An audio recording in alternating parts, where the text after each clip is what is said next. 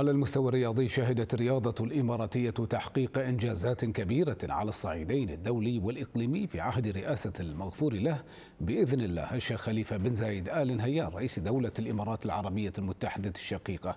رحمه الله وذلك بفضل الدعم الكبير الذي وجده القطاع الرياضي من قبل سموه.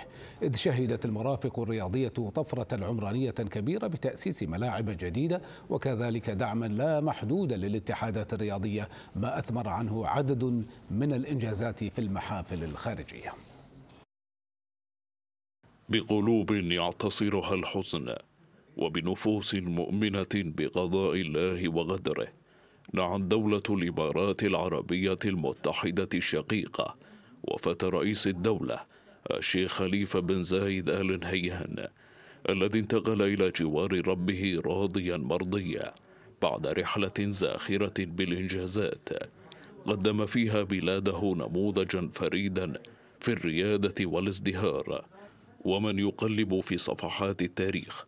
سيتوقف أمام محطات بارزة كان للرياضة الإماراتية نصيبا كبيرا منها خلال فترة حكم الشيخ خليفة بن زايد آل نهيان.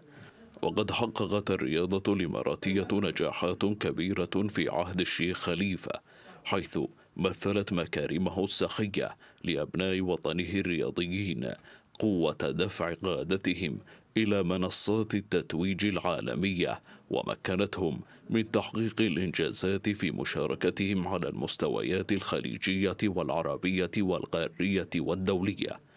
وكان للشيخ خليفة بن زايد له سهامات مادية كبيرة في دعم الفرق والأندية الرياضية فضلا عن منتخبات الإمارات في الألعاب الرياضية المختلفة وكان لدى الشيخ خليفة بن زايد هوايات عديدة مارسها في حياته ولعل من أبرزها رياضة صيد الصقور التي كانت تستأثر بقدرة واسعة من اهتماماته وتملك دولة الإمارات عدة مرافق رياضية بمواصفات عالمية في مختلف الرياضات وهي من أهم الأسباب التي قادت قطاع الرياضة في الدولة على مدار الأعوام الماضية ومن أبرز المنشآت الرياضية في دولة الإمارات مدينة زايد الرياضية وحلبة مرسى ياس الذي يستضيف سباق جائزة أبو ظبي الكبرى